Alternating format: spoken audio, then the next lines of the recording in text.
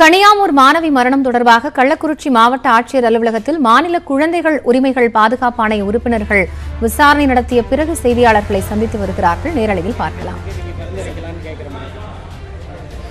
Sir நம்ம வந்து hostel seal பண்ணிடுவாங்க அவ்வளோதான் ஹாஸ்டல் வில் பி சீல் மற்ற லைசன்ஸ் எல்லாம் இருக்கான்னு செக் பண்ணிட்டு இனி இந்த மாதிரி குற்றங்கள் நடக்காது அப்படின்னு ஒரு நம்பிக்கை இருந்தால் மட்டுமே இந்த பள்ளிக்கூடத்தை தொடங்குறதுக்கு நாங்கள் ஹாஸ்டல் வந்துட்டு சீல் பண்ணிட்டீங்கன்னா வெளியில இருந்து வந்து ரொம்ப தூரம் வந்து படிக்கக்கூடிய மாணவருடைய கல்வியெல்லாம் பாதிக்கப்படும். அதுக்கு என்ன மாதிரியான? ரெஜிஸ்ட்ரேஷன் பண்ணணும் உடனே பண்ண சொல்லிடலாம். பண்ண சொல்லிட்டு பண்ண பண்ணி வந்து இந்த பொதுவான அறிவுறுத்தல் எதுவும் கொடுத்துருக்கீங்களா? மற்ற பள்ளிகளுக்கு அந்த மாதிரியான ஏதாவது பொது அறிவுறுத்தல் எல்லா ஹாஸ்டல்ஸ் வச்சு நடத்துற எல்லா பள்ளிக்கூடமுமே ஹாஸ்டல்ஸ் ஆக்டின் படி அவங்களோட ஹாஸ்டலை ரெஜிஸ்டர் பண்ணி தான் குழந்தைகளை தங்க வைக்க வேண்டும்.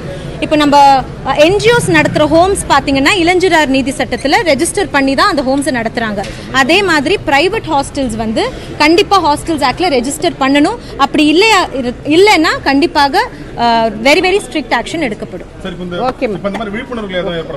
சரி அட்வர்டைஸ்மெண்ட் நிறைய நியூஸ் பேப்பர்ல பண்ணிட்டு இருக்கு இதுவே பெரிய விழிப்புணர்வா இருக்கும் நம்புறோம். ஓகேம்மா ஓகே ஓகே தேங்க்யூ